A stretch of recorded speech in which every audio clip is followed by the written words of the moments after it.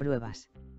Uno de nuestros corresponsales asistió a una manifestación y dijo que no había falsificaciones, pero que los resultados obtenidos con estas pocas piezas de alambre envuelto fueron muy molestos para alguien que tiene conocimiento de la electricidad. Presumiblemente, según algunos testigos, esto habría ocurrido después de algún tratamiento, probablemente malo, que los servicios especiales le hubieran hecho. Sin embargo, todos los que lo conocieron están de acuerdo en que se comunica lo suficientemente bien, e incluso le gusta bromear. Daniel está bajo tutela, pero el papel de guardián de este joven aparentemente no es fácil dependiendo de las amenazas en su contra. Las fotos publicadas en Internet parecen ser un buen reflejo de la película, como lo demuestran quienes vieron el vídeo y también las personas que asistieron a las experiencias y pudimos vernos.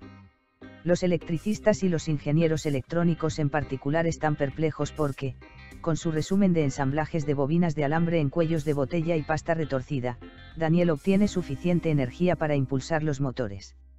Incluso logró construir dispositivos, unos 15, que proporcionaban varios kilovatios y que los servicios especiales vendrían a destruirse.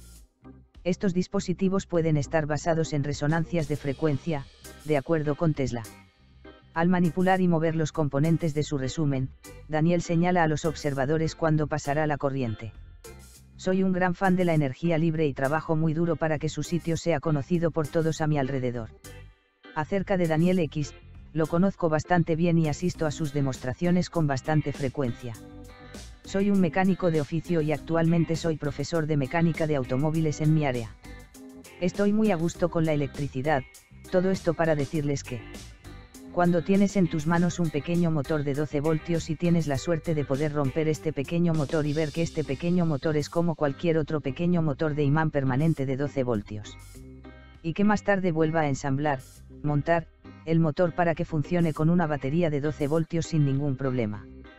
Y que unos minutos después, Daniel te dice que sostengas el motor en tus manos sin ningún cable eléctrico conectado a una batería o fuente de energía y que luego toma dos pequeños hilos de unos 5 centímetros de largo, uno en la mano derecha y el otro en la mano izquierda.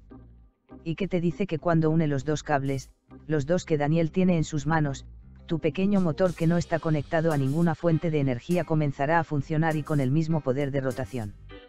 Daniel conectó los dos cables juntos y el motor que tenía en mis manos comenzó a funcionar por mi cuenta y sin ninguna fuente de alimentación.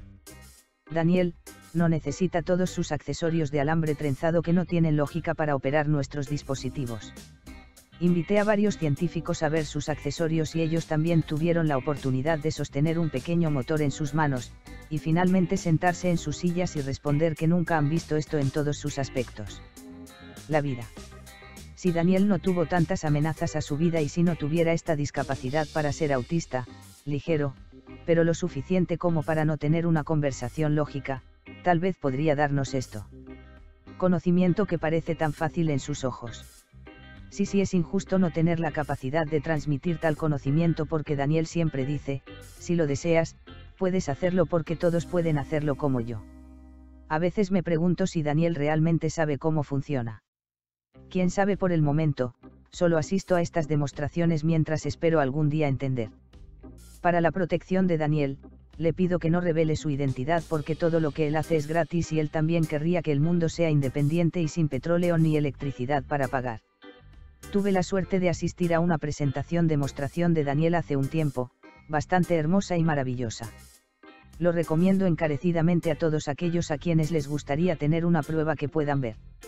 A sus ojos, que es el poder de la intención y su manifestación en forma de energía libre. Buena reunión.